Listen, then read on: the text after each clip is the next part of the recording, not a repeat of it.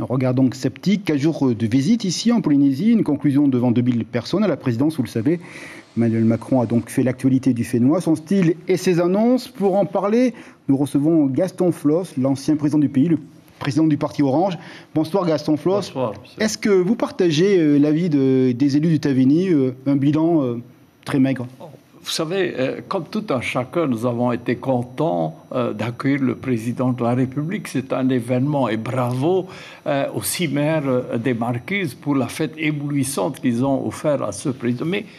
Il y a quand même beaucoup de déceptions dans ce voyage. La première, c'est euh, je pensais que ce serait un grand président euh, qui regrouperait autour euh, d'une table euh, le président de la Polynésie, président du Tapura Atira, le président du Tavini Atira, Oscar Tebaru, moi-même, président du Amuit et puis entendre chacun et essayer de... Non, pas du tout. il a ignoré totalement et Oscar Tebaru et moi-même, alors que nous représentons la majorité du peuple polynésien. Mais vous n'avez pas le sentiment qu'il s'est adressé directement au peuple polynésien en disant j'assume tout, le passé nucléaire notamment? Oui, il a dit euh, la France a une dette envers la Polynésie. Euh, Jacques Chirac l'avait dit avant lui en 2003, mais euh, Jacques Chirac ne s'est pas contenté de belles paroles et il verse au sujet de cette dette-là,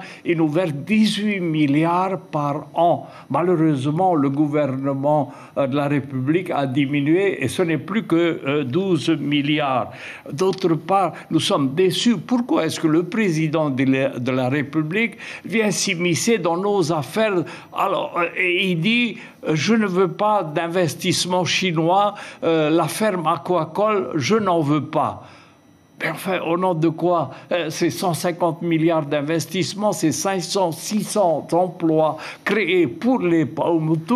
Euh, mais le président n'y croit pas et puis il parle d'ingérence quasiment dans les affaires alors, polynésiennes et, mais, et françaises. Monsieur, euh, regardez en France, euh, ils ont laissé les Chinois acheter l'aéroport de Toulouse. C'était sous François Hollande et aujourd'hui, les, les, Chinois ont vendu les parts avec beaucoup de bénéfices. Les vignobles bordelais également appartiennent à des Chinois et pourquoi ici non? Quel est le problème? Ah, S'il y avait des investisseurs euh, métropolitains, lui qui connaît les banquiers, on, leur donnerait cet investissement. Or, il se désintéresse totalement au développement euh, de notre euh, pays. et puis, bon, qu'est-ce qu'on retient du voyage du président de la République? Est-ce qu'il est venu faire Papa Noël? On, on s'attend à ça. Pas du tout. Il a dit à Edouard Fried, je vous accorde votre prêt de 30 milliards, ça fait 58 milliards, votre dette, vous la paierez, vous rembourserez. Et au chef d'entreprise également, il dit, vous me demandez 30 milliards, vous aurez votre prêt, mais attention, sur ce prêt-là, c'est vous qui sauverez Air Tahiti Nui. Ben, en France, c'est l'État qui a sauvé toutes les compagnies aériennes françaises.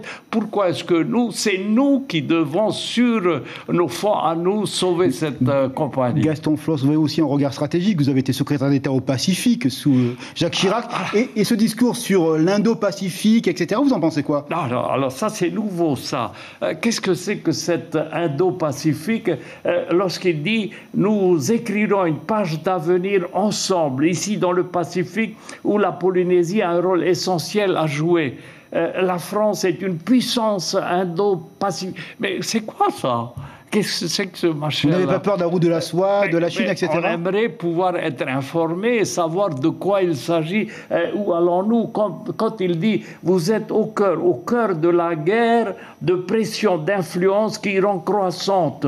Euh, être français dans ce contexte, c'est une chance. Président Floss, c'est quand même vrai cette réalité de route de la soie, de géopolitique. De, on aimerait savoir de quoi il s'agit et, et, où est placée la Polynésie dans, dans, ce, dans cet Indo-Pacifique-là. Quel est le rôle qu'on veut nous faire jouer?